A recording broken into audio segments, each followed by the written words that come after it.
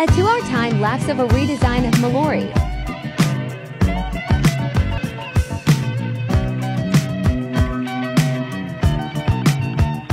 Malory is the 38th roommate and before she met her she was just a punk from Coney Island.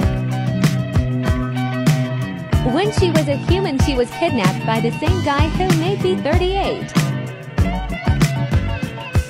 After a long fucking month of experimentation she was told that she was ready to be a government weapon. She then disagreed and said she'd rather be a punk rather than a government scum property. The doc, of course, didn't give a fuck and told her she can live with B38 and her adopted mom until she changes her mind.